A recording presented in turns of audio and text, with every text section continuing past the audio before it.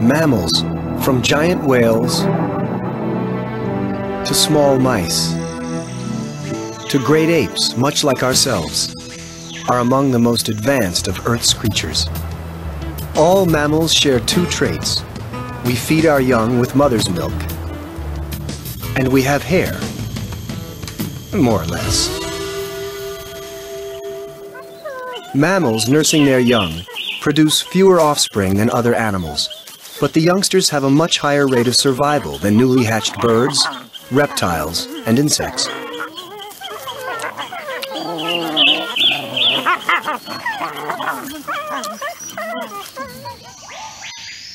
This young orangutan will stay with its mother for eight years.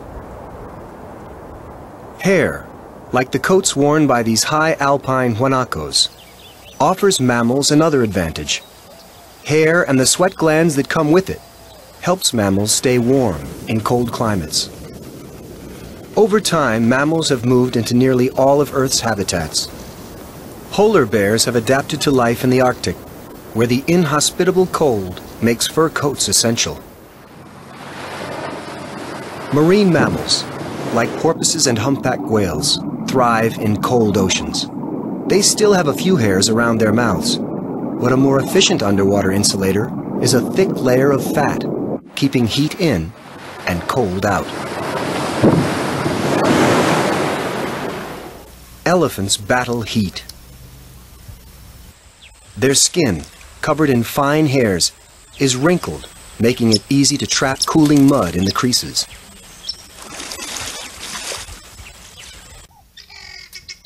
Spots on the coats of leopards and cheetahs help them hide. Their fur works to camouflage the big cats stalking prey in tall grasses. There are 7,500 species of reptiles and amphibians, and some 8,600 species of birds. Only 4,100 species of mammals exist, but they dominate the land and sea.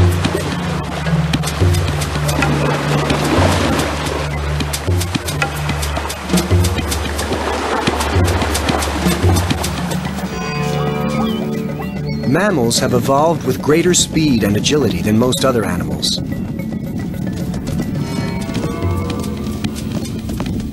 Limbs that are lined up to support weight and drive mammals forward help browsing mammals run from mammalian predators armed with tooth and claw.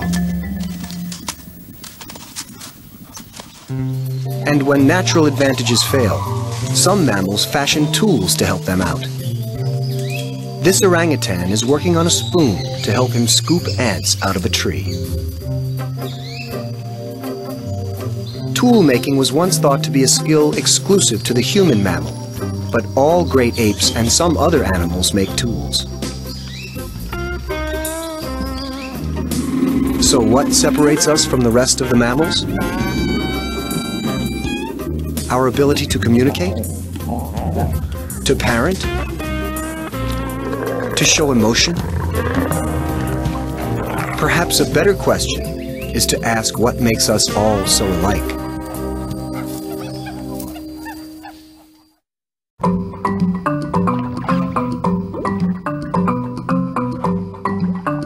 It moves with eight arms, pumps blue blood with three hearts, and changes color in an instant. Its flexible body fits through the tiniest cracks, while its brain sorts out tricky situations. With talents like these, it's hard to imagine a creature more intriguing than the octopus. Octopuses join squid, cuttlefish, and nautiluses in the class of invertebrates known as cephalopods. They are relatives of mollusks, such as oysters and clams. But unlike these mollusks, octopuses don't have hard shells to protect them. Their soft body makes them a target for many predators, so they spend much of their time in hiding. Most live inside dens or small caves at the bottom of the ocean. They usually stay in their lair unless they're searching for food. Once exposed, an octopus relies on several defenses. One of the best is its ability to camouflage. Special color cells all over its body control pigments in the skin and help it blend into the surroundings. If that doesn't work, an octopus squirts a murky ink at its attacker. The ink acts as a distraction when the octopus senses trouble. It also doesn't taste very good, which makes a hungry predator think twice. Being soft and flexible does have its advantages. Believe it or not, this octopus can squeeze its entire body into the bottle.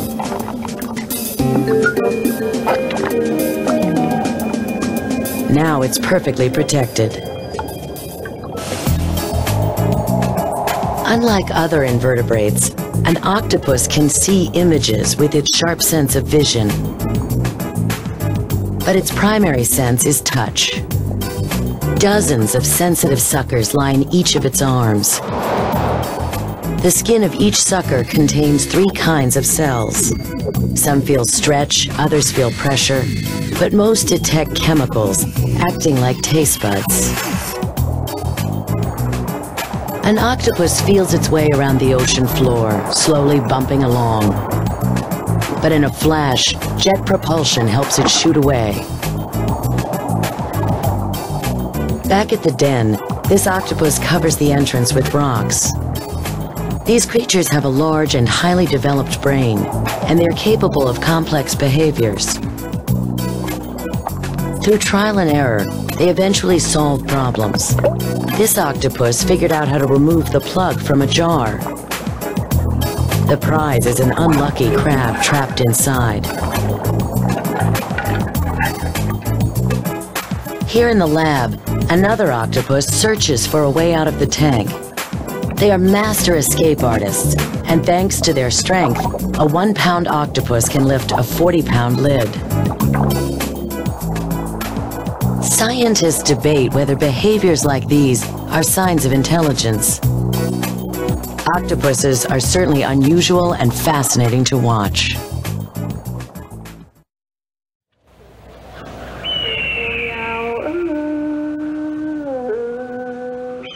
For more than a thousand years, the Hopi have survived by growing corn in the harsh drylands of the American Southwest. Using a digging stick, the Hopi plant corn deep in the floodplains, where the few inches of precious rain flowing from the mesa feed the plants. Deep planting allows the seeds to benefit from the moisture in the soil, and the corn grows strong roots to resist wind and flash floods.